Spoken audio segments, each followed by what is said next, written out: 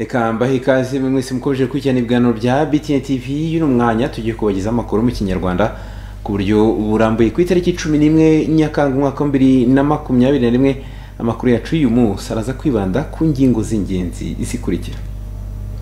Mu karere ka ruhango ni mu murenge wa ruhango mu kagari ka tabwe bizimana emmanuel araba ko umugore we yamwirukanye mu nzu. Naho uwitwa uwayezu jean marie vianney atuye mu karere ka gasabo umurenge wa gatsata asanzwe aranga amazu yakubiswe bikomeye n'abasore babiri yaraje kwishyuza. Naho kandi mu murenge wa gisozi ni mu kagari ka ruhango hakaba hafatiwe umugabo wari uri gutuburira umu agenti aho yafashwe ashaka kumwiba amafaranga ibihumbi ijana na mirongo itandatu na bitandatu y'u rwanda. Turaza kugaruka kandi n'amakuru arimo aravugwa mu mikino.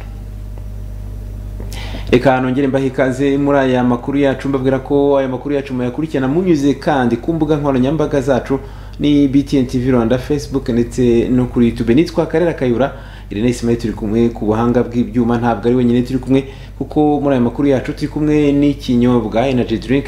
Ikinyobwa cita niyo tuza kuba turi kumwe muri aya makuru yacu tugiye kubana muri aya makuru yacu y'uyu munsi.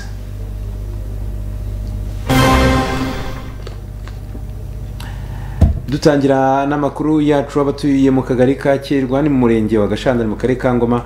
Baravuga ko ngo bamaze igihe kinini bategereje amafaranga y'ibyabo byangijwe n'ahari harimo haranyuzwa amapironi y'amashanyarazi ibyo avuga ko ngo byakomye mu nkokora akazi kabo ka buri munsi. Isufu ubona bagenda arakomeza.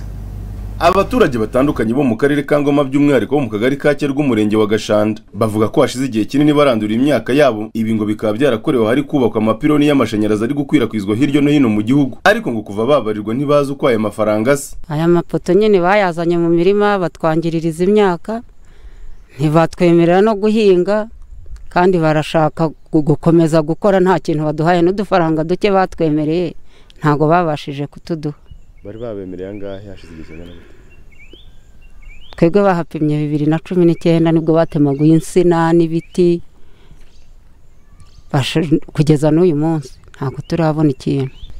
Natwe ibi byobo ibi ngibi biri kwa aho papa yadusigiye mama tufite turi abana babiri. Barangije barahagonga ahangaha. Ni naho honyine dufite. None n'ayo bemeye ntibayaduha dusaba ubuvugizi nibura n'ayo baduhaye n'ayo bemeye bayaduhe.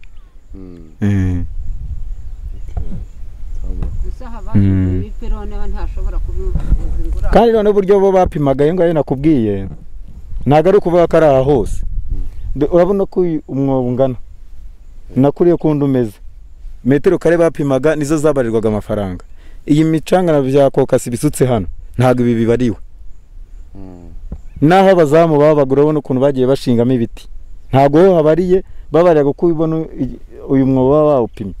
Bakaba ariho bakubarira gusa. Aho handi bo bahihaye ku buntu. Baraje nyine baje bapima baturutse hakurya za birenga gutya na za muringa gutya baraza bagonga no muri aya masamba yacu bacukuramo bapimamo impamvu. Noneho ubwo hasigaye barakomeza n'ibiti bihari barabibara nyine bakomeza kugenda gutyo. Mu gihe gishize cyamaze igihe baraza ni bwo baje nyine batangira gucukura. Baravuga bati tuzabohereza tuzaza tubabarira amafaranga. Kuva ubwo rero batangiye no gucukura twakomeje kugira icyizere cyo kuba bagiye kutubonera udufaranga natwe twadufasha aho twagombaga guhinga turahahagarika ntacyo twahinzemo.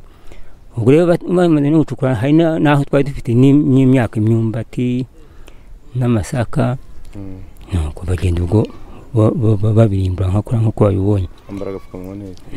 Ubwo rero nyine kugeza ubwo dutegereje amafaranga n'ayo batubariye nyine nubwo ari make ntiturayabona aba baturage bavuga ko byabagizeho ingaruka zitandukanye. Bakaba basaba ko bakwishyurwa ngo n'ayo babariwe bakayabona. Reba nko ku nzara nk'ibijumba barabiranduye bari bashyizemo umuhanda reba insina baratema kahwa iki ibintu byose biranditse mu ifishi. Ubundi bari bavuze mu matariki ya mbere z'ukwa cumi ko ari bwo amafaranga azaboneka. None ntabwo bayaduha ubu kuri kubona ino mihati imeze nta n'ubu uba yemerewe ubundi gukatamo. Usibye ko babirangije hano. Uko uri kubona biti bagiye bashinga. Nawe ubwawe ntiwajyamo ngo urebemo imbere. Ntabwo uba uhemerewe. Nk'ubu ngubu ntawe dufite handi duhinga ntibanayaduhaye nibura ngo dukodeshe ubundi butaka. Ni uku gusa. Turasaba- wenda ubuvugizi tuvugana bwira tukabona n'utwo dufaranga nyine twagira icyo dufasha. Nk'ubu ntabwo twagomba guhinga tukabona icyo cyadutunga ntabwo twagihinze. Nk'ahari urahavura honyine n'ahandi ni uko hagiye ham- hamera gutya. N'ibyo nonekayemo nyine bya- byahwanye no gucukura kuriya umuyobozi w'akarere ka ngoma niyo nagira natali. Yabwiye btn tv ko iki kibazo bakizi kandi barimo kugikurikirana ngo gikemuke. Hari ku murongo wa telefoni barakimenye ejo eh, bategerejeho twemerejwe ko kigiye gukurikiranwa hakarebwa muri ibi bikorwa by'iterambere uruhare abaturage babifitemo tukabahuza n'umufatanyabikorwa reg kugira ngo babashe kuganira hagire icyo kivanwa hatagira umuturage ubungabunga imyaka ye wenda iri kugenda yangirika turabizeza ko kubegera n'umufatanyabikorwa bagafata ingamba zigiye gukorwa bakamenyeshwa amakuru kandi bakajya bayamenyeshwa hakiri kare mbere y'uko ibikorwa bitangira ni ikibazo abaturage bavuga ko basangiye nabo mu yindi mirenge. Aho aya mapironi yanyuze hose. Bakaba basaba ko bahabwa ingurane y'ibyabo byangirijwe. Bakaba basaba ko bahabwa ingurane y'ibyabo byangirijwe. Yusufu ubona bagenda btn mu karere ka ngoma. Arakoze cyane mugenzi wacu yusufu ubona bagenda. Dukomeza n'amakuru yacu ni mu karere ka kamonyi aho abaturage batuye umurenge wa rukoma bavuga ko ngo basa n'abasigaye mu iterambere kubera kutagira amashanyarazi. Bagasaba ko nabo bakayegerejwe kuko ngo byabafasha kwiteza imbere. Keve christian arakomeza. Aba baturage batuye mu kagari ka Gishyeshye umudugudu wa Rubare batangaza ko babangamirwa bikomeye no kuba badafite amashanyarazi ndetse bikabazitira mu iterambere ryabo bagasaba ko bagahawe amashanyarazi nabo bakiteza imbere bakanava mu bwigunge. Intebe duteye imbogamizi kubera yuko hari byinshi dukenera kuba twakora ntitubikore kubera yuko bisaba nk'umuriro.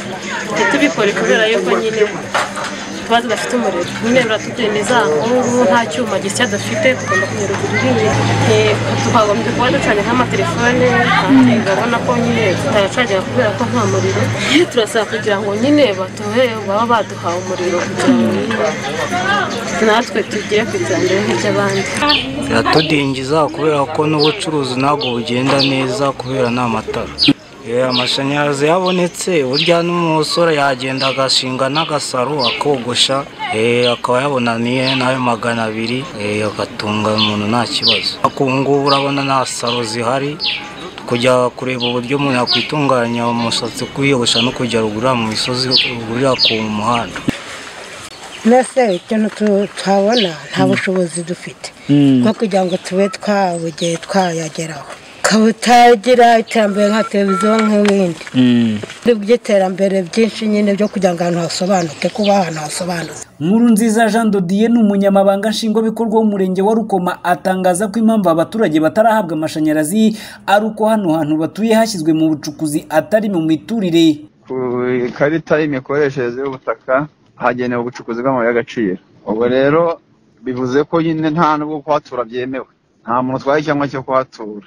Kandi ahantu utakohereza umuturage ngo ature ntiwanahohereza amashanyarazi. Ni ukuvuga ngo amashanyarazi aho ajya ni ariya y'aba- y'abanyenganda baba bajyanye gukoresha mu birombe byabo. Rero ubwo abaturage icyo mbasaba ni uko ba- bahava hariya bakegera site y'umudugudu aho bazabasha kubona ibikorwa remezo. Akomeza avuga ko kugeza ubu uyu murenge uri ku kigero cya mirongo itanu na gatatu ku ijana y'ingo zifite amashanyarazi gusa agatangaza ko bafite icyizere ko hakurikijwe gahunda ya mbere ya leta yo kwihutisha iterambere izasiga umwaka w'ibihumbi bibiri na makumyabiri na kane abatuye uyu murenge bose bafite amashanyarazi ku kigero cy'ijana ku ijana hashingiwe kuri gahunda akarere ka kamonyi gafite yo gutuza abaturage mu midugudu kugira ngo begerezwe ibikorwa remezo. Ibarushimuwe bihoye keve christian btn tv mu karere ka kamonyi ho mu majyepfo y'u rwanda. Tukiri mu majyepfo y'igihugu cy'u rwanda twerekeze mu karere ka ruhango ni murenge wa ruhango ni mu kagari ka tabwe aho itwa bizimana emmanuel avuga ko ngo afitanye amakimbirane n'umugore bashakanye byemewe n'amategeko aho ngo ubu ngo uyu mugore ngo yamwirukanye mu nzu ubu ngubu birumvikana ko arimo arasembera. Amahoro samusoni bimeze bite? Aha ni mu kagari ka tambwe ni mu murenge wa ruhango wo mu karere ka ruhango. Hari ikibazo cy'umusaza witwa bizimana emmanuel daniel. Avuga ko ngo akomeje guhohoterwa n'umugore we bashakanye ndetse ngo aya makimbirane yabo ngo akaba amaze imyaka n'imyaka. Ibyatumye ngo uyu musaza aza guhunga urugo rwe rukuru maze akajya kwiyubakira urundi rugo. None kugeza amagingo uyu mukecuru ingo zose yazimukuyemo dore ko uyu musaza ari gusembera ashaka aho yarambika umusaya. Kandi yarubatse amazu menshi atandukanye haba mu mujyi wa ruhango ndetse no mu kagari ka tambwe. None uyu mukecuru bashakanye ari kumwirukana muri aya mazu yose byatumye umusaza ari gusembera yabuze aho arambika umusaya uyu musaza avuga yuko ngo intandaro yo kugira ngo uyu mukecuru ngo amwirukane muri aya mazu yose bagiye bagirana amakimbirane rinda yuko bagirana ibibazo bikomeye. Byatumye ajya kwibera mu cyaro maze akamuhunga ariko ngo uyu mukecuru nabwo ntiyanyuzwe dore ko ngo yaje kumugambanira kugeza bamufunze. Umwaka wose akamumara muri gereza. Nyuma akaza ariko kurekurwa. Nibwo yaje asanga uyu mukecuru inzu zose yazishyizemo abapangayi. Maze umusaza agiye kubakuramo arakubitwa karahava akubitwa n'abana be. Bafatanyije n'uyu mukecuru. Ikibazo mfite ni iki ngiki? Ni uko nkurwa mu byanjye n'umugore nashatse. Natakira ubuyobozi bukaba butanyumva. Uburyo butanyumva ni ubu ngubu ngiye kuva mu mwaka wa mirongo icyenda na kane icyenda n'icyenda nashoboye kutabana umugore neza. Nshobora kumuhunganira ko twicana. Kuko sinshaka kwicana. Uyu musaza avuga ko ngo ntako atageze yitabaza inzego zitandukanye kugeza n'aho ngo yaje kujya gushaka umuyobozi w'akarere ka ruhango ariko ngo bamwe mu bayobozi bakanga ko ngo abonana n'umuyobozi w'aka karere. None uyu musaza akomeje kugenda aririra mu myotsi. Bitewe n'uko ngo amazu yose uyu mukecuru yaje kuyafata amwe akayabamo andi akayashyiramo abapangayi. Uyu musaza akaba ari kwibaza aza kwerekeza bikamuyobera. Aba ni bamwe mu baturage abaturage baganiraga na BTN TV ndetse n'uyu musaza bavuga yuko ngo uyu musaza yubatse ibikorwa byinshi bitandukanye.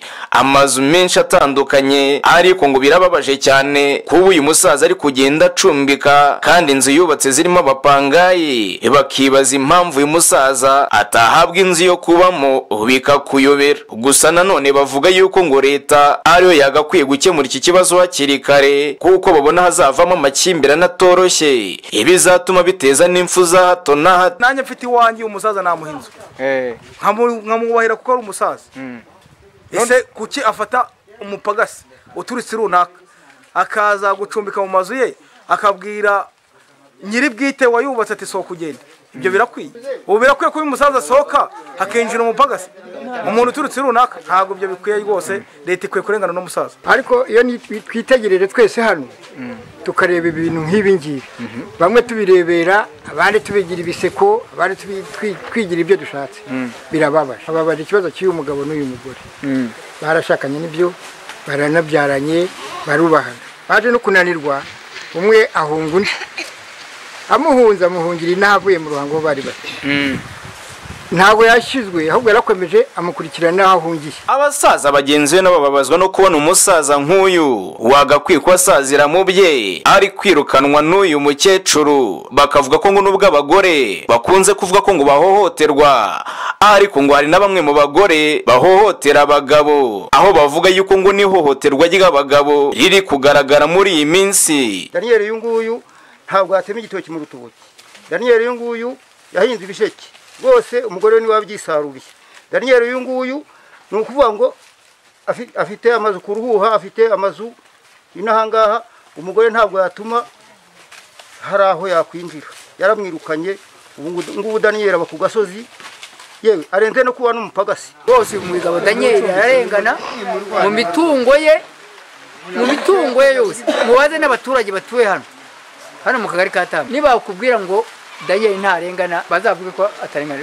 Murabona abaturage batuye hano baje hano bahuriye ibi nanone byatumye duhamagara umuyobozi w'akarere ka ruhango habarurema valensi ngo twumve nimba ari icyo barinda gufasha. Uyu musaza ukomeje kugenda asembera kandi yarubatse amazu atandukanye. Icyo twamusaba cya mbere ni ukubanza kumva ikibazo ko kimeze ari we ukidusobanurira kuko ndumva hari amakuru dukeneye kumenya kandi utarimo tubwira ku wa kabiri mu gitondo twakira abaturage bose hanyuma indi minsi nabwo uh, ushatse uh, ndamutse ndi ku karere bwakwiga gahunda nabwo narambona kandi agaca mu nzira nyazo. Uwo arimo avuga wamubujije simuzi ntacyo mbiziho kuko n'ubu ngubu nicaranye n'umuturage winjiye ntabwo nzi uwo babuza n'uwo batabuza ntabwo mpamya ko ari byo rero kuko abakozi bahangaha bakavuga ko nta muntu uza kujya ahashaka n'ibiro by'abaturage. None kugeza magingo muri aka kagari katambwe ng'ibibazo by'abagabo bahohoterwa n'abagore babo. Ngo ni uruhuri kuko ngo atari uyu musaza wenyine daniyeli uri guhohoterwa n'uyu mukecuru. Iyi ni btn tv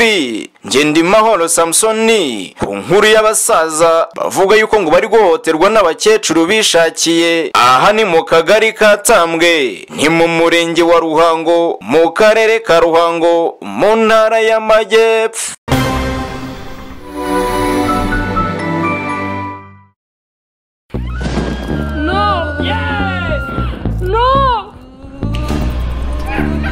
No. Yes! Oh my gosh. Yes! Yes! Yes! Wicikwa tsindira ibihembo bidasanzwe na gorilla games. Jya kuri playgorillagames.com cyangwa ukanda akanyenyeri umunani karindwi umunani urwego you bet it's fun kina mu rugero ubutumwa bureba abafite imyaka iri hejuru ya cumi n'umunani. Nonese ntabwo uri kubona n'ikibazo kiri mani ndi gufungura mani nkeneye kuva ahangaha agira vuba vuba. Nonese nakuzanye bambwira ngo ni we muntu wa mbere ahangaha uzi gukora ibintu Aya, aya, bimeze rw'ubu bite. sisi twatarana. Nonese kutagera. Uyu si silivesitiri ndebara. Niko sha? Niko sha silive ndebera ndebera tumaze amasaha atatu hano. Ntabwo uzi icyo bise arufa garaje hano igikoni muri arufa garaje ni ho bafite imashini kabuhariwe itahura ikibazo imodoka ifite. By'umwihariko piyesi yose imodoka yawe ikeneye urayidusangana. Witinya tugana igikondo hirya y'isoko aho dukorera kuko dukorana n'ibigo byose by'ubwishingizi. Ku mwihariko wacu ni ukubakorera mekanike generale neza tukabagororera imodoka ndetse tukanazitera irangi. Wari uzi yuko kimwe cya gatatu cy'ubuzima bwawe kimara uryamye? Ni kubw'iyo mpamvu uruganda rwa mbere mu zigenga rwubatse mu cyanya cyahariwe inganda imasoro rwa matera dodoma. Rubakorera matera zitandukanye. Zaba zirimo rasoro ibitanda imisego n'ibindi byinshi. Ni na zo matera za mbere zahawe ikirango cy'ubuziranenge na rwanda standards board. Wari uzi yuko matera dodoma imaze imyaka irenga makumyabiri n'itanu? Ikora matera zujuje ubuziranenge muri afurika y'uburasirazuba no hagati. Bikaba ari na yo mpamvu yatoranyijwe mu bigo bitanu byahize ibindi. Muri made in rwanda. Bibiri na cumi n'icyenda. Shishoza urebe ku muguno wayo niba handitseho kiyoferi magodoro dodoma dufatanye twirinde turinde n'abandi virusi itera sida. Mu rwego rwo kujyana n'isi mu ntego yayo yo kurandura sida mu mwaka w'ibihumbi bibiri na mirongo itatu minisiteri y'ubuzima irashishikariza abaturarwanda twese kugira ubufatanye mu kurwanya sida. Buri wese agashyira mu bikorwa ingamba zimufasha ubwe ndetse n'izifasha mugenzi we. Ni muri urwo rwego kuva tariki ya mbere ukuboza bibiri na makumyabiri na rimwe mu rwanda hose turi mu bukangurambaga bw'amezi atatu bwo kurwanya sida. Insanganyamatsiko iragira iti dufatanye turandure sida. Ubu butumwa ni ubw'ikigo cy'igihugu gishinzwe ubuzima rbc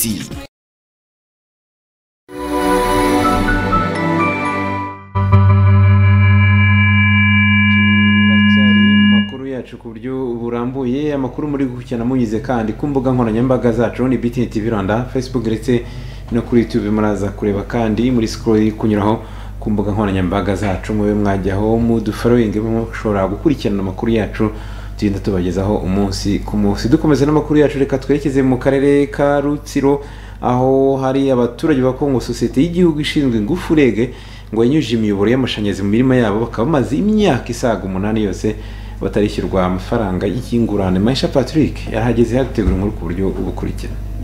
Mu kwezi gushize ni bwo twari twabagejejeho inkuru y'umwana warwaye kanseri yihereye mu muhogo nyuma iza kumanuka igera ku mpyiko.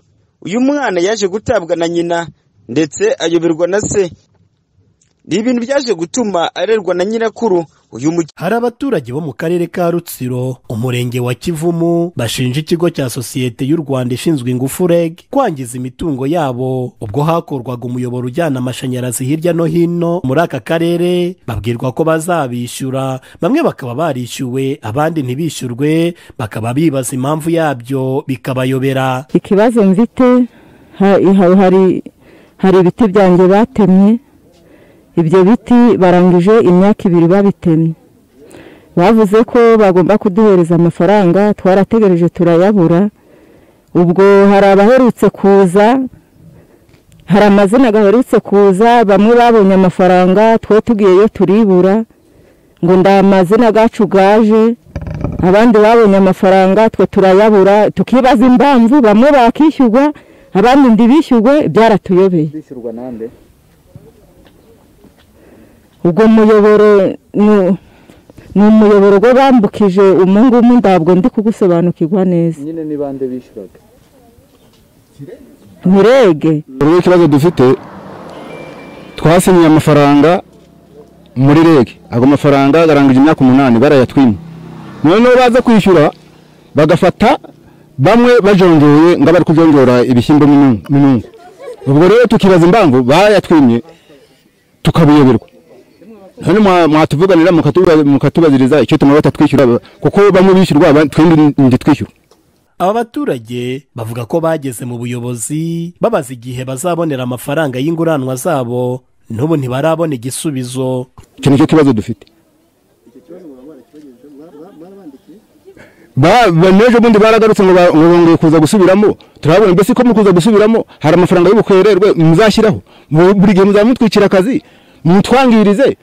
Ntimunatwishyure abamujonjore bamwe bishyurwe abandi basigare. Imyaka umunani irashize.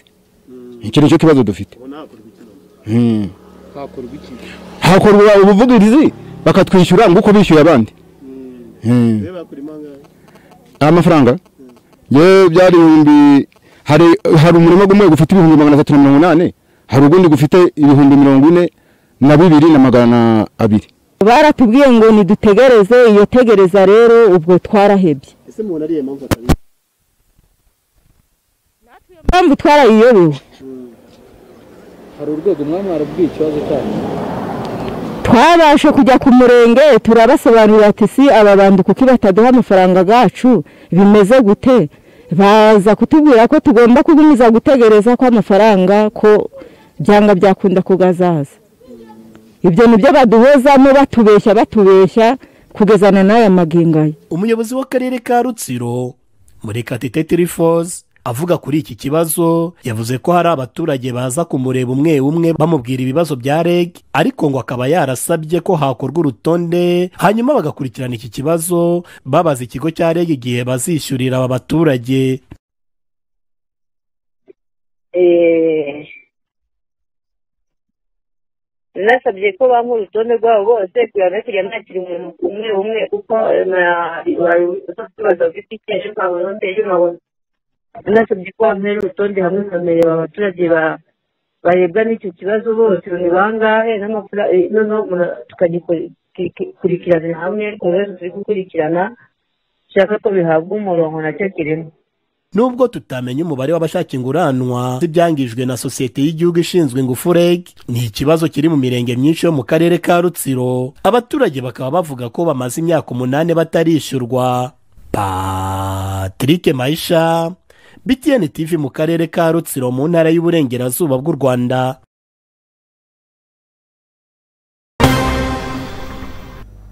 Arakoze cyane mugenzi wacu patrick mayisha hari inkuru twigeze kubagezaho y'umwana wari urwaye kanseri nyina amutana na nyirakuru we. Kuri ubu ngubu rero nubwo nyirakuru avuga ko ngo atararuhuka umutwaro afite w'uyu mwana ariko ngo byibuze hari abagiraneza babashije kumufasha ariko akavuga ko ngo agikeneye ubufasha kuko ngo yagiye no ku murenge na n'ubu nta kintu baramubwira. Seretse narushamo ko iyi nkuru aracyayidukurikiranira mu kwezi gushize ni bwo twari twabagejejeho inkuru y'umwana warwaye kanseri yihereye mu muhogo nyuma iza kumanuka igera ku mpyiko. Uyu mwana yaje gutabwa na nyina ndetse ayoberwa na se. Ni ibintu byaje gutuma arerwa na nyirakuru. Uyu mukecuru ubwo amuhetse byamunaniye ndetse no kumugaburira atarya kumuvuza bimubana ingorabahizi ndetse ubwo yaje kujyanwa ku bitaro bya butaro. Nyuma y'amezi menshi cyane yari yamaze sashika byaje gutuma none abura amatike yo kuzajya ajyaho ku marandevu ajyaho buri inshuro ebyiri mu cyumweru. Icyo gihe uyu mukecuru mukandanga nyese nyirakuru wa kano kana akaba yarabigarukagaho muri ubu buryo. N'ubwo burwayi bwa- bwafashwe yabufashwe nyine ataba hano Eh, uko ameze ni ukuvuga ngo arwaye arwaye icyo kibyimba cyo mu mpyiko bambe cyo mu ijosi. Kanseri yo mu kibyimba yaramanutse ijya mu mpyiko. Impyiko ubu nizo arwayemo kanseri. Niyo tumujyanye ku bitaro ni ukuvuga ngo bamuha imiti iri mu gushaka kugira ngo izakamure iyo kanseri yo mu mpyiko. Ariko ibyo ari byo byose n'ubundi iramurya n'iri joro naraye ijoro ntabwo naryamye. Impyiko zombi. Iyi ni impyiko zombi n'amaraso ngo ya kanseri yacukiyemo Eh, niko abaganga batubwiye. Ko niyo anyaranyara amaraso. Baguha icyizere se ko Eh, bampa icyizere ngo tuzakurikirane tumuvuze tudacitse intege ngo azakira nta gihe barama kuko baracyaduha randevu z'ibyumweru bibiri ngo bakubwira igihe azakirira baguhaye randevu z'u- z'ukwezi kugeza ku mwaka. Eh, ikibazo ufite cyangwa icyifuzo ni iki icyifuzo mfite ni uko nabona ubuvugizi bufasha bwo kugira ngo mbone ko namuvuza.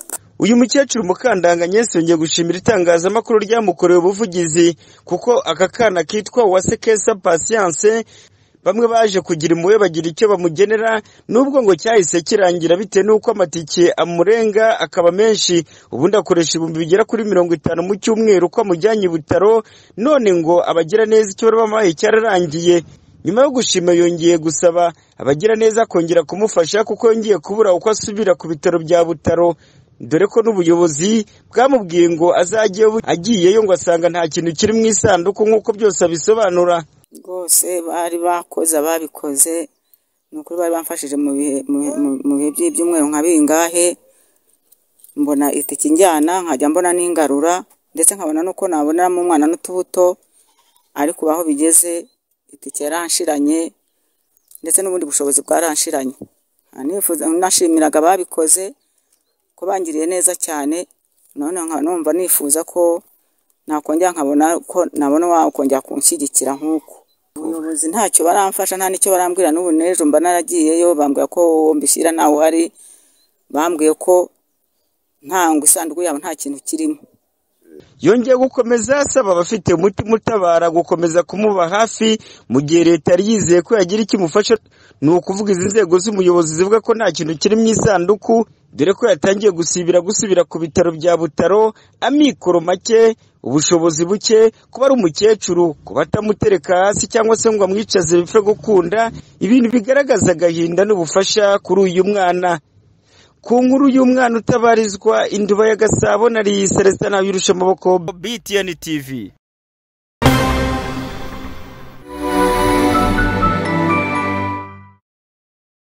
isuku twese turabizi ko ari isoko y'ubuzima bwiza.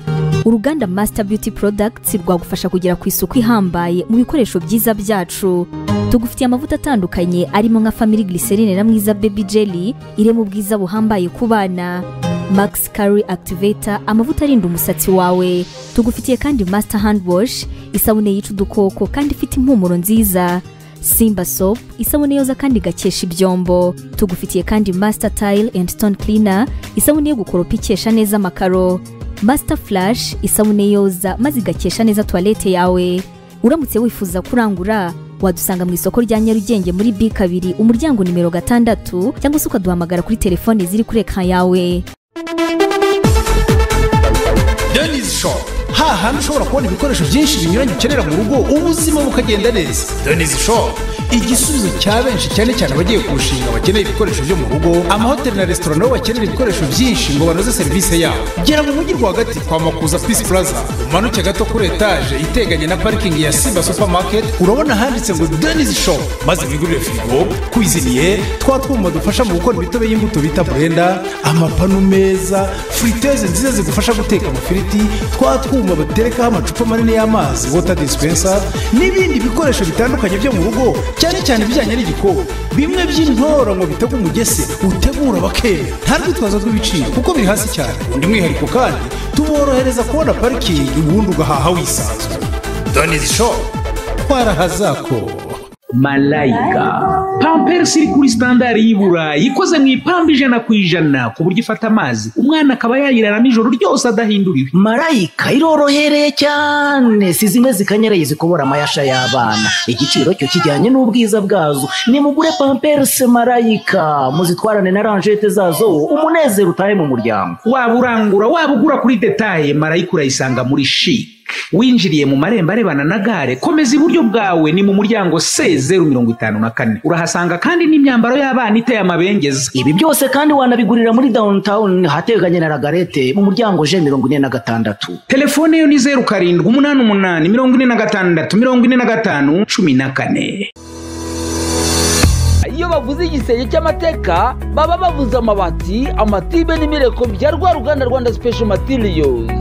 Nirwo rugutunganyiriza amabati ya kangaro ndetse na veduzi amabati ya rwanda special materials aboneka muri forume zitandukanye.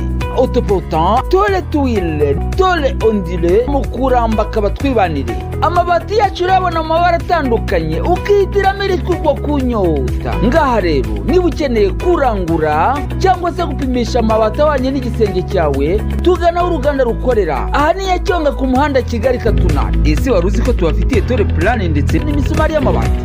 Kangalo veduze ni rwanda special materials amahitamo akwiye aramusi showu ngaha aho abasirimu bashopinga ibikoresho byo mu ngo maze ukicara wizeye ko utunze karite. Muri aramusi shopu ni ho usanga za ntebe zo mu ruganiriro. Izi zikoze mu ruhu runoze orijinari intebe wicaramo ukavimvira ndetse ikakuvura n'amavunane. Tambuka uhakure tabula manje utubati ameza. Urahasanga n'ibitanda na matora zabyo garderobe imashini zimesa za kwiziniyeri n'ibindi twikurira ku ruganda muri turukiya. Ese nawe ngwino udusuri ntituzuyaza gutanga garanti. Twe twizeye ubuziranenge bw'ibicuruzwa byacu. Uguze kandi turamutwaza yewe tukamufasha no kwensitara ibyo bikoresho. Aramusi shopu ni ku muhima yamaha werekeza nyabugogo ku ruhande rwa hawuzi banki popireri murakaza neza muri siyesita uruganda rumaze imyaka itanu rukorera mu rwanda kuva muri bibiri na cumi na gatandatu. Muri siyesita dufite ibitanda byiza cyane bikorerwa mu rwanda.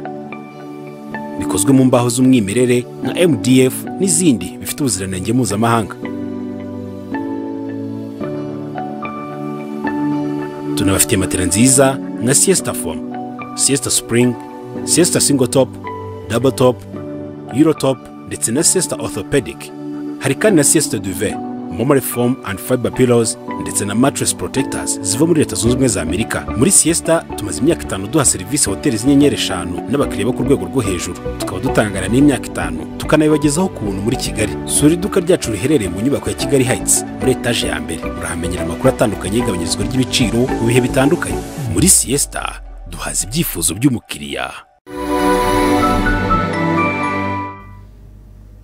Turacyari mu makuru yacu ku buryo butandukanye. Aya makuru yacu kandi hari bamwe bari kuyakurikirana banyuze ku mbuga nkoranyambaga zacu. Abenshi biganjemo bari hanze y'u rwanda hari izo BTN TV rwanda facebook ndetse no kuri youtube. Dukomeza n'amakuru yacu. Turacyari mu mujyi wa kigali ni mu karere ka gasabo mu murenge wa gatsata. Aho umusore witwa yezu jean marie vianney akubiswe bikomeye n'abasore babiri b'abakanishi aho ngo yari yarabarangiye inzu. Maze yagiye kubishyuza amafaranga twakwita nk'ay'ubukomisiyoneri maze baramufata baramukubita bikomeye bamukura amenyo bamuta aho ngaho maze habura bo reka ibindi kuri iyi nkuru tubaze mugenzi wacu ndahiro valence pape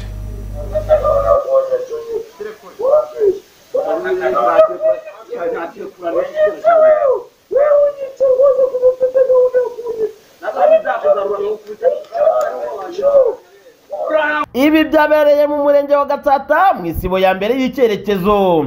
Aho mu gitondo cyo kuri uyu wa gatanu uwayezu jean marie vianney ngo yari agiye kwishyuza bayisenge n'umuhungu babana bitewe n'uko inzu bacumbitsemo ari we wayibarangiye akigerayo ngo bamwakirize imihini. Si ukumuhondagura bivayo. Nyuma yo guhondagurwa akagirwa intere twasanze yaryamyishijwe iruhande rw'umuhanda. Kuva ku isaa kumi n'ebyiri za mu gitondo kugera ku isaa yine n'iminota cumi n'itanu ubwo twahageraga akuka ari gake ava amaraso mu kanwa atutangariza uko byamugendekeye.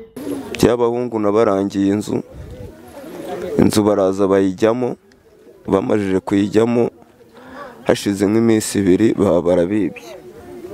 Bamajije kubiba baraza baza kunshaka. Ati ibintu byacu ko ari weho umuntu watw- watweretse iyi nzu y'aha ngaha ntabwo wabuze abantu batwibye. Ndabwira ni njyewe ntabwo nzi abantu babibye ntabwo nakurangira inzu ngo nze no kukwiba. Inzu umaze kukurangira hano muri uyu mudugudu ni nyinshi. Umuhungu ndamubwira nese ubu ngubu umukomisiyoneri ahembwa angahe ku buryo utampa n'igihumbi cyangwa bibiri? Umuhungu aranyihorera ubwo bukeye mu gitondo ni bwo yambwiye ngo yibwe. Kugeza na n'iyi saha nta kintu yari yakampaye. Mugeze iruhande ntiwampaye amafaranga ahita ambwira ngo nere kumutera umujinya ngo nimba ari byo binzanye ngo reka azabinyereke. Arankubita umuhungu yenda no kunyica. Ntera induru abantu babyumvaga. Umuhungu twari wari utuye ahagana hirya ni we waje afata iyo videwo akajya ashaka kunkiza.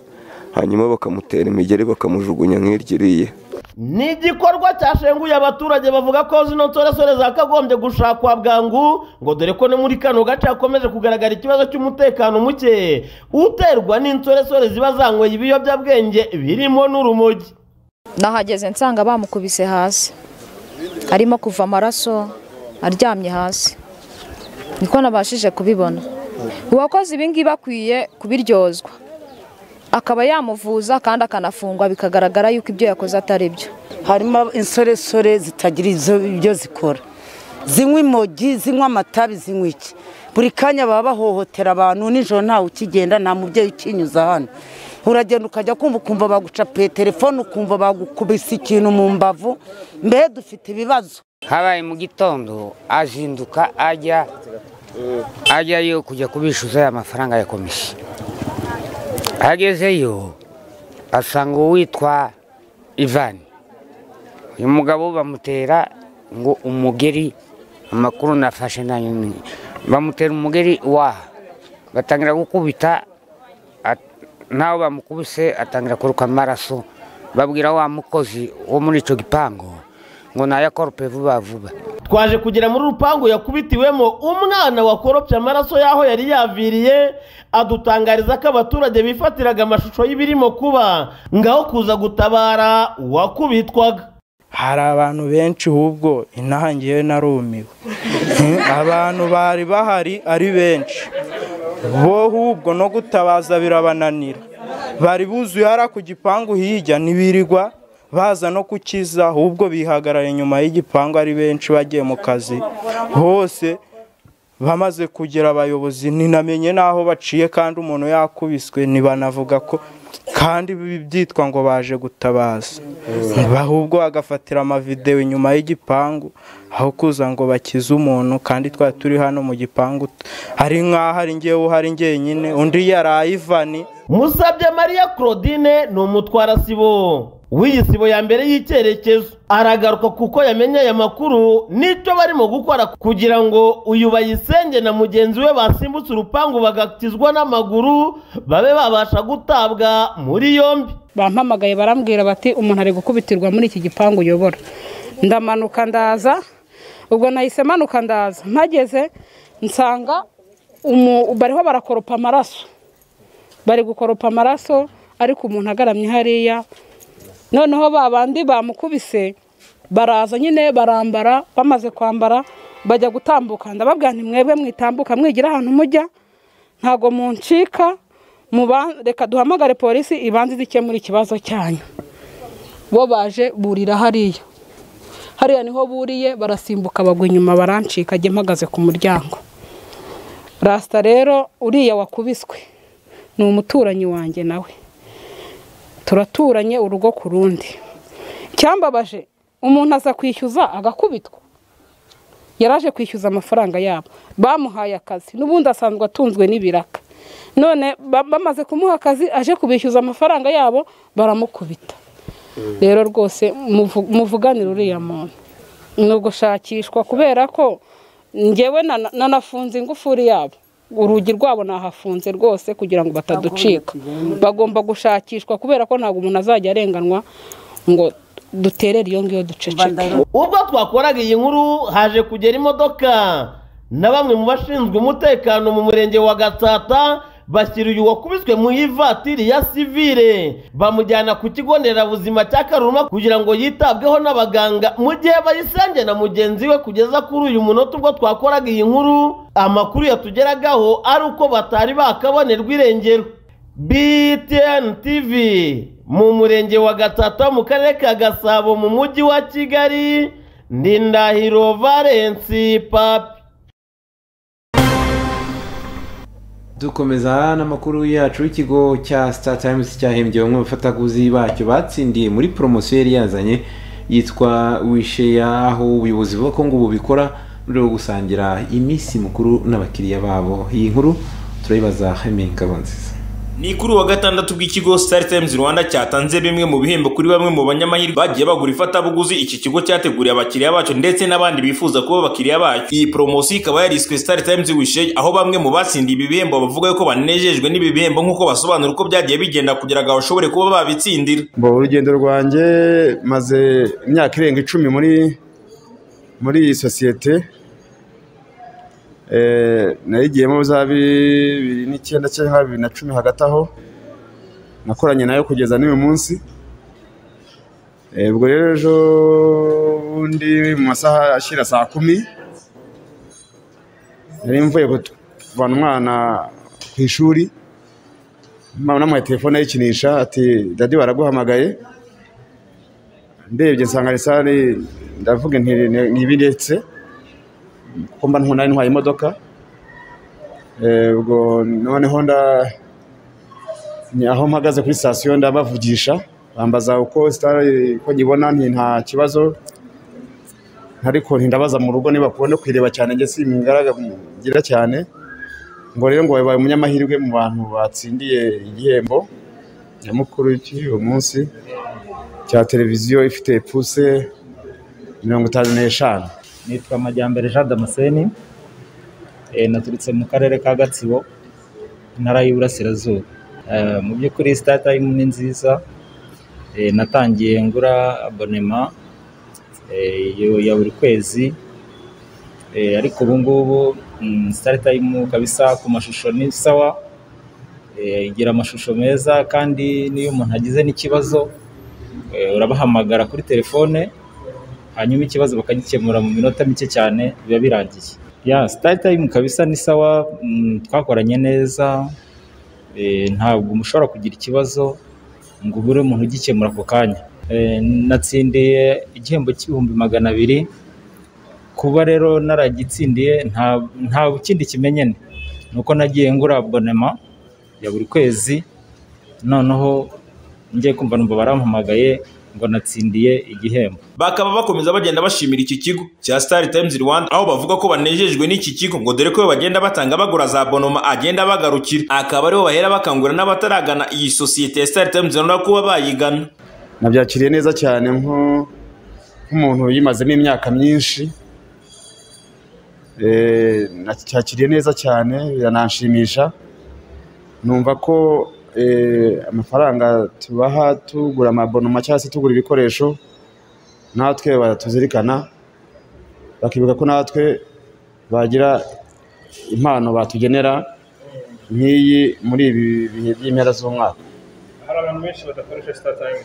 N'icyo wababwira ku bijyanye na experience ufite mu myaka icumi yawe mbona nabashishikariza kuyi- kuyitabira kuko sosiyete igerageza kugaragaza amashusho neza kandi wagira ikibazo ukabahamagara bakagufasha haba kuri telefone cyangwa se abatekinisiye.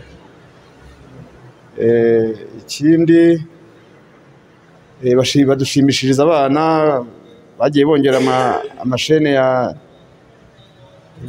abana bakunda kwita ngo ni gatuni. Eh, kintu nabashishikariza koko bayitabira bakayiyoboka kandi ikora neza. Ya Star Time kabisa nibagerageze Time ni, ikigo cyiza gitanga amashusho akeye kandi kigira gahunda cyubahiriza amasezerano y'umukiriya. Ndabashishikariza rero kugura abonema bagakoresha Star Time. Iyi poromosiyo ikaba igikomeje nk'uko byagiye bisobanurwa na Star Times Rwanda aho bavuga ko bazakomeza kugenda bahemba buri banyamahirwe bazagenda batsindira ibihembo mu gihe bazaba baguze ifatabuguzi muri ibi bihe by'iminsi mikuru. Ngo dore ko intego yabo ari ugusangira n'abakiriya babo ndetse n'abifuza kuba abakiriya babo iyi minsi mikuru.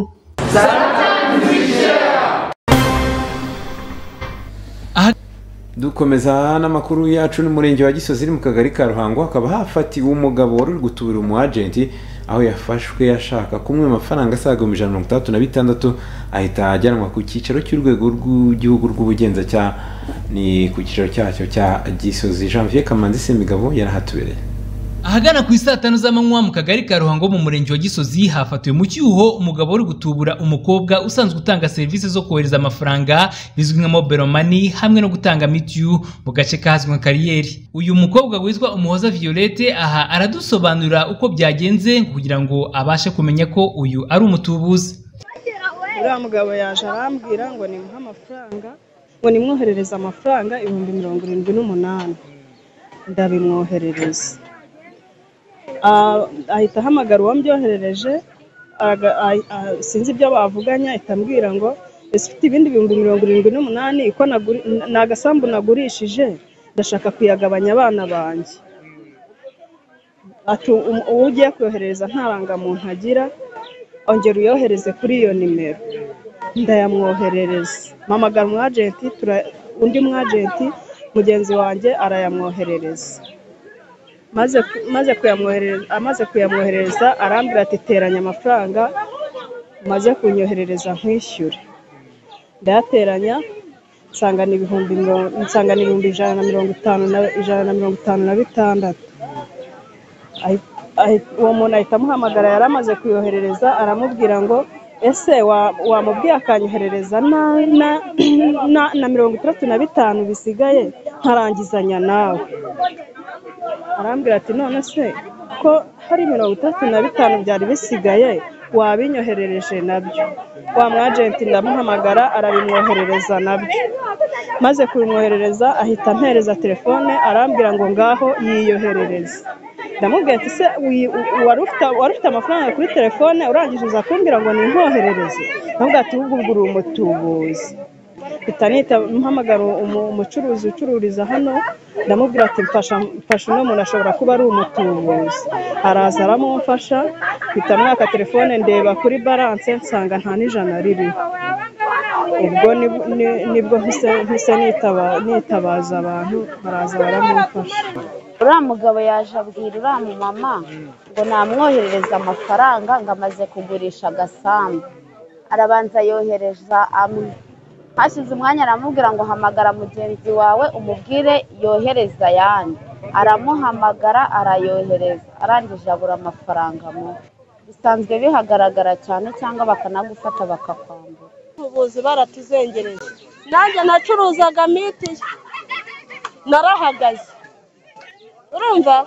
Mwebwe murabajyana mu kanya mukabafungira iyo ntibatwishyure amafaranga baba bakonsomye kandi baba banayafite rega nabo bayohereza ntituhaze. Ubu nabaye umukene. Nk'icyifuzo cyabo muri rusange basaba ko aba bafashwe bajya baryozwa icyaha bakoze ndetse bakanishyura ibyo baba bibye. Niko babakurikirana ubundi barangiza bakajya babahana kandi n'ibyo bajyanye bakabisubiza. Icyifuzo cyanjye ni uko yamusubiza amafaranga yanjye nta kindi kintu mwifuza kuko simuzi nawe ntanzi nyuma y'iyo nkundura uyu mugabo ajyanwe n'urwego rushinzwe umutekano ndetse n'abatuburiwe nabo bajyanwa ku murenge wa gisozi bityo ngo bageze ikirego mu bugenzacyaha. Naho abiba amafaranga cyangwa abatuburira abagenti bishingiye ku buriganya si uyu muhoza violette bibayeho gusa kuko hari n'abandi mu gihe gishize bafashwe n'urwego rw'ubugenzacyaha RIB bakagaragazwa itangazamakuru hanagaragazwa ingingo ibahana n'icyaha bakurikiranyweho. Janvier Kamanzi BTN TV mu mujyi wa Kigali.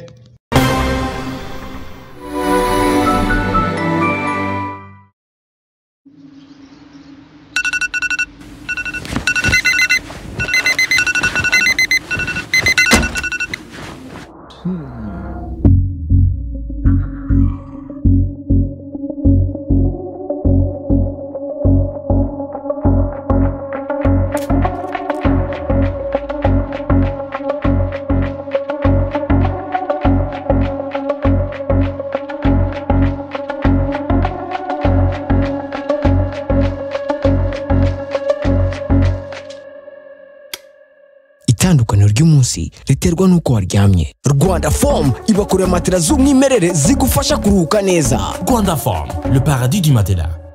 Magazema colombi ti terwa ishema no kurimba. Uwambitswe n'aya mangazini y'abasirimu atambuka mu b'imbere agahabwa ijambo ahakomeye. Nawe rero hanyurana umucyo muri iyi costume sur mesure. Amashati slim fit urukweto nk'uru n'umukandara bikwereka abazi kwambara amapantaro n'amajinizi azira gucuye amatisheti n'ibindi original. Magazema colombe yivanira i burayi. Magazema colombe ni muri kigali ka free zone iruhande neza rwa kcb telefone ni zeru karindwi umunani umunani mirongo itandatu n'umunani mirongo irindwi na gatatu zeru kane na zeru karindwi umunani umunani mirongo itanu na kane mirongo itatu na karindwi zeru umunani.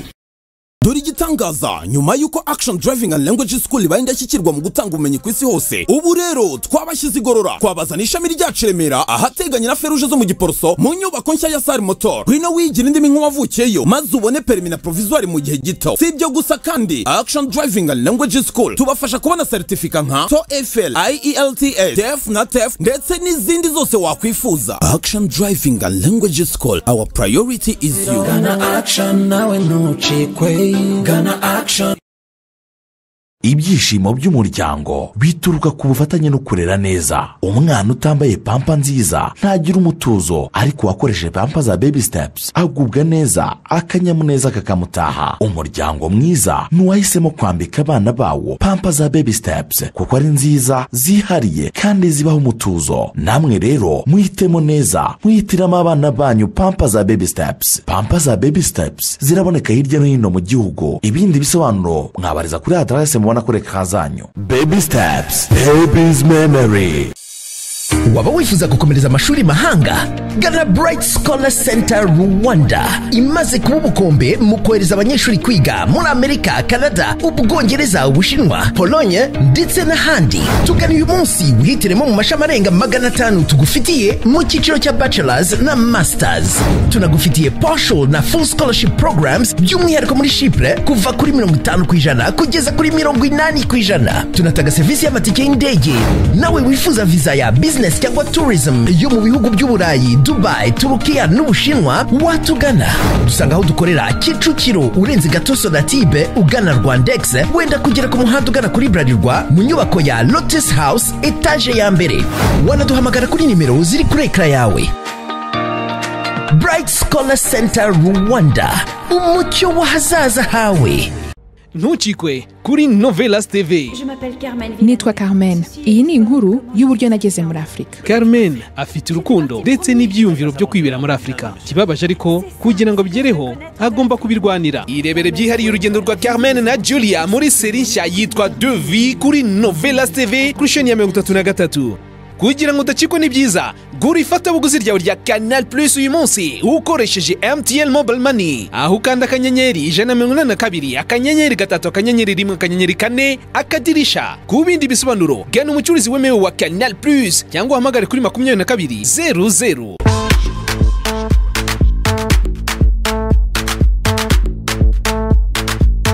mama uziko noneho nzaba uwa mbere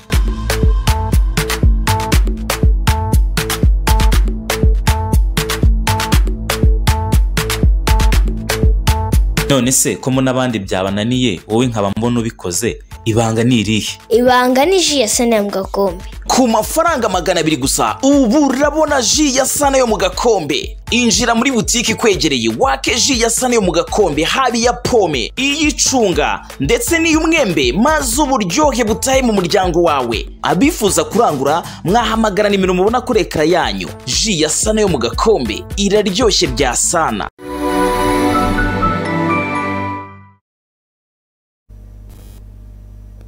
Dukomeza n'amakuru yacu mu rwego rwo gukomeza guha abakiriya babo ibyo bakeneye. Uruganda rukora sima rwa Prime Cement rukaba rukorera mu karere ka Musanze rwashyize ku isoko ubwoko bushya bwa sima aho ubuyobozi bw'uruganda buvuga ko ngo iyi sima ihendutse ndetse kandi ikaba itangiza ibidukikije. Gaston Irembere yarahatubereye. Ubuyobozi bw'uru ruganda rwa prime cement buravuga ko bwashyize ku isoko ubwoko bushya bwa sima bwitwa 22.5 cyangwa se makumyabiri na kabiri n'ibice bitanu mu rwego rwo gukomeza korohereza abaturage b'amikoro make bashaka kubaka. Dore ko ngo ubu bwoko bushya bwa sima buri ku giciro cyo hasi kuko ngo umufuka umwe ugura ibihumbi umunani by'amafaranga y'u rwanda nk'uko bigarukaho n'umuyobozi w'uru ruganda bwana nyumbayire serge. Product turi gukora niyo yitwa 22.5 cyangwa makumyabiri na kabiri n'ibice bitanu. Abantu b'aba- b'abatekinisiye hari uko babyumva. Yo tuyita ubundi masonary cement. Ni nka sima y'umuturage iciriritse ifite igiciro cyiza kandi ifasha nko kubaka sima gushyira sima hasi gutera ibipande. Urumva ko ishobora kubaka inzu ziciriritse z'abaturage. Ni na cyo igamije urebye.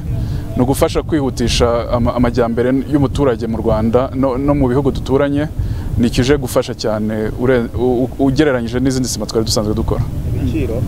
Ibiciro? Sima ya makumyabiri n'ibice bitanu iraba ihagaze ku- isoko ry'u rwanda ibihumbi umunani ku mu- ku mufuka. Urumva ko ni igiciro twagihananuye neza cyane. Ubuyobozi bw'uru ruganda kandi buranavuga ko bwiteguye gukora ibishoboka byose kugira ngo buhaze isoko ry'u rwanda dore ko isima bakora yatangiye no koherezwa hanze. Prime cement imaze kugera ku, ku, ku ki- kigero cyo gucuruza bigera kuri mirongo itatu na gatanu ku ijana hanze y'igihugu kandi tumaze umwaka wonyine dukora. Ni ukuvuga ko turi ku, rugendo rwiza rugana aho gu- guhindura eh, babyita economic balance y'igihugu kugira ngo dutangire gu- gusohora ibi- ibikorewe mu gihugu kurusha uko twinjiza ibikorewe hanze y'igihugu. Bamwe mu bakiriya b'uru ruganda rwa prime cement baravuga ko uru ruganda rwashyize ku isoko ubwoko bushya bwa sima ngo byahuje n'ibyifuzo by'abaturage kuko ngo bahoraga babisaba. Twamusabye imana janviere eh, mu karere ka musanze intara y'amajyaruguru. Ndi umucuruzi wa kenkayeri ndi n'umukiriya wa prime cement. Abakiriya iyi sima ya prime cement barayikunda cyane. Ku buryo usanga izindi zose zarahagaze cement aka- niyo iri ku isonga impamvu bayikunda prime cement yujuje ubuziranenge ikorerwa mu ikorwa no mu bikoresho by'iwacu. Yewe basanzwe bayikeneye cyane babidutuma natwe tubisaba uruganda badutuma ko bakeneye karite ya gatatu kuko hari aho baba bakeneye kuyikoresha turagenda natwe twegera uruganda tubibasabye. Barabyemeza niyo mpamvu iyi sima isohotse abaturage bazayikoresha. Ubu bwoko bushya bw'isima bwashyizwe ku isoko n'uru ruganda rwa prime cement buje bwiyongera ku bundi bwoko bubiri bwari busanzweho ubuyobozi bw'uru ruganda kandi bukaba buvuga ko ubu bwoko bushya bwa sima bwashyizwe ku isoko burimo na tombora kuko ngo umuturage uzajya uyigura ashobora no kugira amahirwe yo gutombora ibintu bitandukanye birimo televiziyo telefone moto n'ibindi. Gasito nirembere btn tv arakoze cyane mugenzi wacu gasito nirembere kadufata akanya gato karuko turagaruka mu kanya dukomeza ano makuru yacu.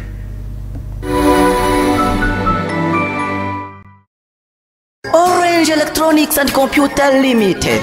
Ya mangazini mu mujyi wa Kigali azwiho ibikoresho bya tekinoloji zira pirate. Kurire mudasobwa zimwe zidatetereza abazikoresha. Imprimante na photocopieuse frigo na kwiziniyeri bikomeye. Orange mwashimye kandi yasanze icyubahiro cyanyu gikwiye kandi kanyuzo maze yibaruka top furniture market.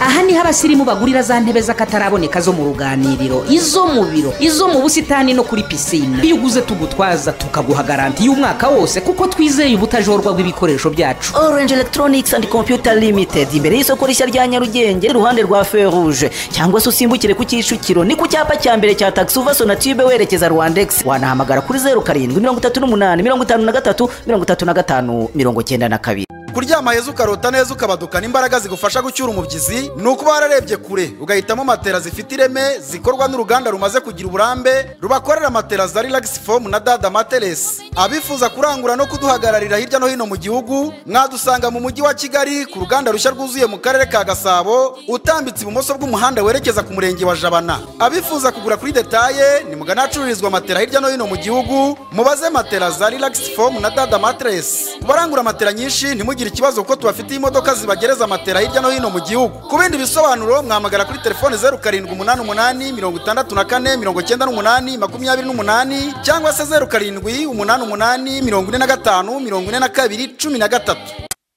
tekino yesi fone imena mu kubagezaho telefone za rurangiza. Twabazaniye izihiga muri byose. Fantom x. Kabuhariwe mu gukesha amafoto ku bwa kamera ya megapixel mirongo itandatu rege ububiko bw'amajiga magana abiri mirongo itanu n'atandatu n'izindi nyinshi nka kamount 17 pro spark 7 tubashyiramo antivirisi n'andi ma application yose. Hifashishijwe imashini yabugenewe. Ukanahabwa n'izindi mpano tubafitiye poromosiyo ihebuje. Aho ukura telefone ugahabwa indi ya kabiri. Dukorera mu mujyi hafi ya city plaza hari icyapa kinini cya telefone cyanditsemo yes phone na nyabugogo mu mashyirahamwe iruhande rwa airtel center. Kubita ibisobanuro wahamagara kuri zeru karindwi umunani umunani makumyabiri na rimwe cumi na gatatu makumyabiri na gatanu. Muri iki gihe duhanganye n'icyorezo cya coronavirus turashishikarizwa gukaraba intoki n'amazi meza ndetse n'isabune ya deterex kuko deterex ni antibacterial. Iyi sabune ya deterex ni isabune ikoranwe ubuhanga buhanitse ndetse n'imiti yabugenewe ku buryo biyiha ubuhangange bwo kwica bagiteri zose. Niyo sabune ya mbere leta yo gukaraba. Si iyo gukaraba intoki gusa kandi kuko deterex ni isabune yo koga igafasha abayikarabye gusigarana umutuzo n'umunezero kubera impumuro yayo y'agahebuzo. Ihendutse ite? Iyi sabune ya deterex turayisanga hirya no hino mu marimantasiyo za supamaketi ndetse no mu mabutike atandukanye. Ku bifuza kurangura mwahamagara kuri zeru karindwi umunani umunani mirongo itatu mirongo itandatu n'umunani. Dufatanye twirinde turinde n'abandi virusi itera mu rwego rwo kujyana n'isi mu ntego yayo yo kurandura sida mu mwaka w'ibihumbi bibiri na mirongo itatu minisiteri y'ubuzima irashishikariza abaturarwanda twese kugira ubufatanye mu kurwanya sida. Buri wese agashyira mu bikorwa ingamba zimufasha ubwe ndetse n'izifasha mugenzi we. Ni muri urwo rwego kuva tariki ya mbere ukuboza bibiri na makumyabiri na rimwe mu rwanda hose turi mu bukangurambaga bw'amezi atatu bwo kurwanya sida. Insanganyamatsiko iragira iti dufatanye turandure sida. Ubu butumwa ni ubw'ikigo cy'igihugu gishinzwe ubuzima rbc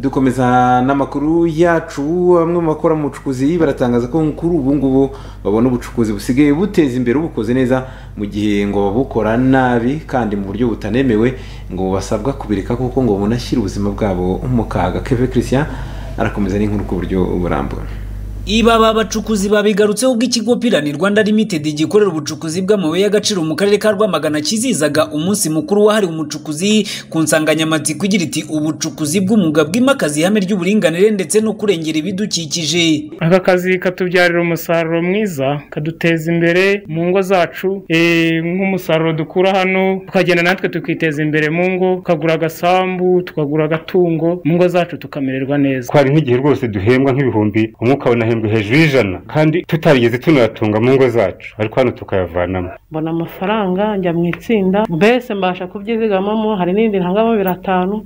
Mu kwezi iyo mbaze nsanga ari ibihumbi cumi na bitandatu ntanga kandi myakura muri kano kazi mba muri ejo heza. Nk'ubu ngubu eh, mu myaka mazemo hano ibiri maze kwiteza imbere cyane. Hano aka kazi kamfitiye akamaro kanini. Nk'ubu ngubu maze kuvanamo inka eh, n'isambu. Ndi guteganya kuyiba buri gihe amafaranga baduhembye rero umuntu agenda ayashyira kuri konti akabitsa noneho yamara kugwira akabikuza agakora wa mushinga yari yateguye. Urumva yuko rero ibyo ni ibintu byiza cyane. Ari mituweli twazigezemo. Nta muntu ukirwarira mu rugo. Ari ukuvuga ntuze ejo heza twagiyemo sendika na byo twabigiyemo ariko tubikesha iki? Tubikesha kano kazi. Sematuro lioneri ni umuyobozi mukuru wa pirani rwanda limited atangaza ko impamvu bahisemo kwizihiza uyu munsi nka pirani ari uko baha agaciro umurimo w'umucukuzi bitewe n'uruhare babona agira mu iterambere ry'igihugu anatangaza ko ubuzima bw'umucukuzi bwahindutse ugereranije na mbere. Kuba ukomeye rero nta zindi mpamvu ni uko ubucukuzi ni umurimo ukomeye cyane abawukora batanga imbaraga nyinshi bagira umuhate mu gutanga umusanzu wabo mu bicukurwa bigira akamaro ku bantu benshi ndetse n'igihugu muri rusange. Ni muri iyo kadire rero uyu munsi twakoze kugira ngo duterane twishimire ibyo dukora umwuga dukora ndetse n'abawukora nyirizina bashimirwe ku musanzu wabo wa buri munsi mu kazi kabo bakora. Ubucukuzi bwinshi bwakorwaga mu buryo butemewe n'amategeko. Ariko kuva pirani yatangira imirimo iharanira ko umucukuzi abona umurimo w'ubucukuzi nk'umurimo wamugirira umumaro. Kuva icyo gihe rero binyuze mu mikorere yacu abakozi bahemberwa ku makonte babona uburyo babasha kubona inguzanyo bakiteza imbere. Ndetse mu bufatanye n'ibindi bigo bitandukanye abakozi bagenda bakubona ibikoresho bitandukanye ku buryo biteza imbere ku buryo nta mukozi ubura mituweli ku buryo nta mukozi uba muri nyakatsi ku buryo nta mukozi ubura iby'ibanze mu buzima. Ni ibyo rero pirani riharanira kugira ngo buri mukozi wese ukorana na yo cyangwa se ukorera muri pirani abona ko ubucuruzi abubemo abona ko bwanamutunga ndetse bwanatunga umwana we igihe azaba yarakuze. Bwanakweri jean marie vianney ni umunyamabanga mukuru wungirije wa sendika iharanira uburenganzira bw'abakozi bakora mu bucukuzi bw'amabuye y'agaciro mu rwanda atangaza ko umucukuzi w'ubu atandukanye n'uwa kera kuko ubu bajyana na gahunda za leta bityo hakwishimirwa intambwe yamaze guterwa. Umushamake ntabwo umucukuzi w'iki ari umucukuzi wo gusinda. Usinda so si n'umucukuzi wo gupfa. Ibi tuvuga byose ni gahunda ya leta. Ibi turimo kubabwira nka sendika byinjira muri porogaramu y'igihugu. Iyo tuvuga ngo umukozi na na na na bamuteganyirize mu kigo cy'ubwiteganyirize bw'abakozi iyo ni gahunda ya leta. Iyo tuvuga ngo umukozi eh, nibamuhembere kuri konti iyo ni porogaramu ya leta. Yo kutagendera amafaranga bayanyanyagiza iyo tuvuga ngo ngo ngo ngo umukozi eh, nibamufate mu buryo ahabwa konji aruhuka byose ni gahunda gahunda ya leta ubwo ibi ni mu mategeko y'umurimo. Ibyo umu- itegeko ry'umurimo byose riteganya rero uyu munsi wa none iyo bikorewe umucukuzi aba ari muri gahunda ya leta. Nyirabihogo jeanne d'arc ni umuyobozi w'akarere ka rwamagana wungirije ushinzwe iterambere ry'ubukungu ahamya ko ubucukuzi buri gutera imbere muri aka karere ku buryo bwahinduye imibereho y'ababukora asaba abakibikora mu kajagari kubireka. Bugeze mu yindi ntera ikomeye kuko bwahinduye imibereho y'abaturage abaturage bahawe akazi abaturage baratuye bafite amacumbi ndetse twumvise na porogaramu nyinshi ba- bakorewe harimo kubaha isasiro bahawe za matera ndetse bahawe n'amagare abasha kubafasha kugenda kugera mu mirimo yabo. Ibyo rero byahinduye ubuzima bwabo cyane ku buryo n'abana babo bameze neza bariga bitewe n'uruganda rwa pirani ubutumwa twabaha ni uko bajya ba mu bucukuzi bus- busobanutse bwujuje amategeko nk'uko twabibonye hano kuko buriya bucukuzi bakora bameze nka- nk'abiba bwa magendu kenshi buteza impanuka.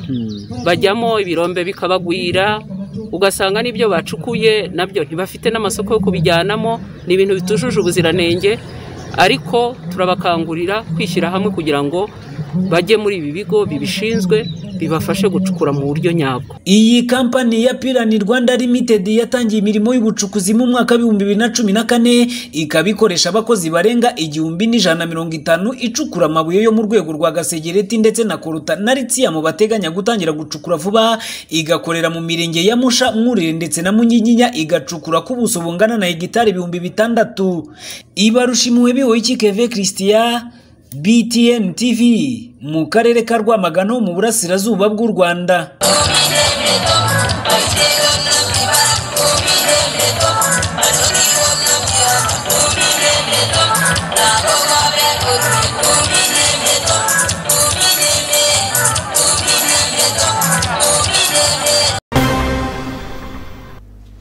Arakoze cyane mugenzi wacu yibarusha imiyoboki keve christian.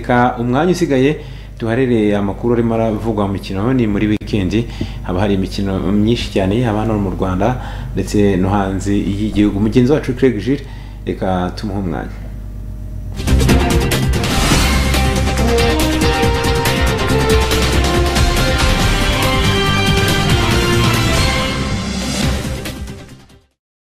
Reka nkubwire ko aya makuru mugezweho ku bufatanye na gorilla games aho kuri ubu ngubu ushobora gutegesha inote y'igihumbi cyangwa se arengaho ukajya mu banyamahirwe bazatsindira kujya kureba umukino w'ikipe ya arsenal n'ikipe ya manchester united umukino uzabera ku kibuga emirates londres hariya mu gihugu cy'ubwongereza tega ku mikino itandukanye ukoresheje amafaranga arenga igihumbi ubundi ubone ayo mahirwe. Icyo bigusaba ni ukwandika akanyenyeri magana inani mirongo irindwi n'umunani akadirishya ugakurikiza amabwiriza cyangwa se ukajya kuri wa eshatu akadomo play gorilla games akadomo com. Kuri ubu ngubu kandi hamwe na sp gorilla games ndetse na kigali arena ushobora gutsindira ibihembo bigiye bitandukanye mu rwego rwo kwifuriza noheli nziza. Aho ushobora gutsindira ikarita zo kunywesha esanse guhindura amavuta y'imodoka ku buntu ndetse n'itike yo kuzajya kureba umukino w'ikipe ya arsenal. Gana sitasiyo ya sp ikwegereye aho uri hose unyweshe kuva ku bihumbi makumyabiri niba ari imodoka cyangwa se ibihumbi bitatu kuri moto nawe wiheshe amahirwe yo gutsindira ibihembo muri sp hamwe n'inshuti. Amakuru yacu y'imikino reka tuyahere mu cyiciro cya mbere muri shampiyona hano mu rwanda. Kuri uyu munsi ekipe ya rayon sport yahura cyahuraga n'ikipe ya gorira fc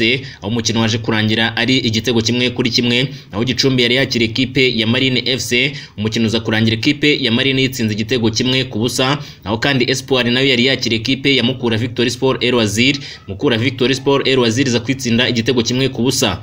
Ku munsi w'ejo ekipe ya etincelle izakira ekipe ya ice kigali ku isaha y'isaa cyenda naho ku isaha y'isaa sita n'igice ekipe ya sport club kiyovu sport yakira ekipe ya gasogi united naho ku isaha y'isaa cyenda ekipe ya ipr fc yakira ekipe ya bugesera fc ni imikino yombi izabera kuri stade ya kigali. Naho kandi kuri uyu wa gatandatu tariki ya cumi na rimwe z'ukwezi kwa cumi na kabiri bibiri na makumyabiri na rimwe kuri splendid hotel mu karere ka muhanga hatanzwe impamyabushobozi cyangwa se seritifika ku batoza makumyabiri n'icyenda bitabiriye amahugurwa yo gutoza umupira w'amaguru ku rwego rwa d cyangwa se license d. izi mpamyabushobozi bakaba bazishyikirijwe n'umunyamabanga w'umusigire wa ferwafa akaba ari iraguha davide aya mahugurwa akaba yaratanzwe n'umwarimu w'abatoza teonas ndanguza afatanyije na marie grace nyina w'umuntu. Kuri uyu munsi kandi mu gihugu cya tanzania hakinwaga umukino wahuzaga ikipe ya yanga africans ndetse n'ikipe ya simba sports club aho uyu mukino wa shampiyona waje kurangira amakipe yombi anganya ubusa ku busa. Umukino aya ma ekipe yagiye gukina ekipe ya Yanga Africans ari iya mbere n'amanota cumi n'icyenda mu gihe ekipe ya Simba Sports Club na yo yari iya kabiri n'amanota agera kuri cumi n'arindwi. Kuri ubu ngubu ekipe ya Yanga Africans ifite amanota makumyabiri mu gihe ekipe ya Simba Sports Club ifite amanota cumi n'umunani. Kuri uyu munsi kandi mu gihugu cya Cameroon habaye amatora yo gushaka umuyobozi w'ishyirahamwe ry'umupira w'amaguru mu gihugu cya Cameroon FECAFOOT aho umugabo Samuel Etofis yaje gutsinda akaba ari we watorewe kuyobora iri shyirahamwe. Uyu mugabo w'imyaka mirongo ine yatorewe kuyobora iri shyirahamwe ry'umupira w'amaguru mu gihugu cya Cameroon. Nyuma y'uko yagize kariyeri nziza mu mupira w'amaguru dore ko yanyuze mu makipe agiye akomakomeye ku isi harimo nka ekipe ya FC Barcelona ekipe ya Chelsea ndetse n'ikipe ya Inter do Milan. Samuel Etofisi akaba yatsinze umugabo bari bahanganye ni Seydou Mbombo Njoya wari usanzwe uyobora iri shyirahamwe kuva muri bibiri na cumi n'umunani. Naho tunyandukiye mu ikipe ya FC Barcelona perezida w'iyi ekipe ni Juan Laporta abinyujije kuri Twitter ye akaba yavuze yuko ngo nawe yababajwe nuko ekipe ye ya FC Barcelona ayobora yavuye mu irushanwa rya UEFA Champions League ikayerekeza mu irushanwa rya Europa League. Akavuga yuko ngo mu kwezi kwa mbere ngo byanga bikunda ngo hari ingufu bazongeramo cyangwa se hari abakinnyi bazongeramo kugira ngo barebe yuko ekipe yakwitwara neza. Naho Mino Raiola akaba ari umu agent cyangwa se uhagarariye Erling Brot Haaland usanzwe ukinira ikipe ya Borussia Dortmund akaba yatangaje yuko ngo uyu musore we ngo mu kwezi kwa gatandatu ngo afite amahirwe menshi yo kuba yasohoka mu ikipe ya Borussia Dortmund yo mu gihugu cy'Ubudage akaba yakwerekeza ahandi. Akavuga yuko hari ama ekipe menshi ashobora kuba yakwerekezamo nka FC Barcelona ekipe ya Real Madrid ekipe ya Man City ndetse n'ikipe ya Chelsea.